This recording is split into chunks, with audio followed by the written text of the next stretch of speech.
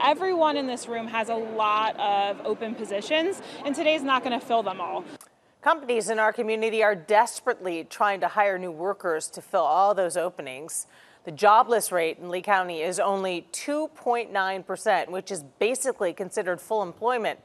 NBC2's Dave Elias shows us how dozens of companies battled it out today at a job fair on the campus of FSW.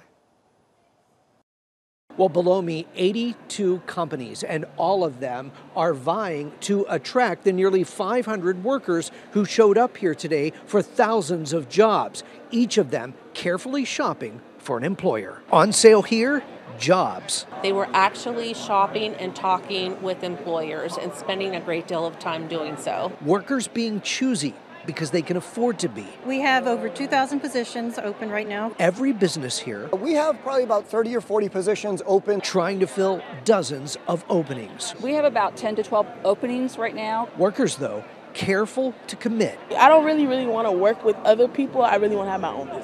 So employers like Scotlynn Trucking coming up with new ways to entice workers. Fridays we do happy hours where at 3:30 we'll all go downstairs, play some cornhole, hang out, have a drink, just kind of celebrate the hard work of the week. Tyrone Burnett explaining that the workplace culture has become increasingly important. Being able to have that growth and expansion within a particular company or um, career and having those opportunities, I think that's where we want most. Forcing employers here to raise the bar. Everyone in this room has a lot of open positions, and today's not going to fill them all. But they say it's a start to the worker shortage facing them. We've talked to a lot of great candidates, so hopefully we'll get some traction from today. A lot more of the younger generation are trying to find something that's fulfilling both uh, financially and just personally. Now, that means that companies are just going to have to spend more time looking for workers as the shortage of employees doesn't seem to be going away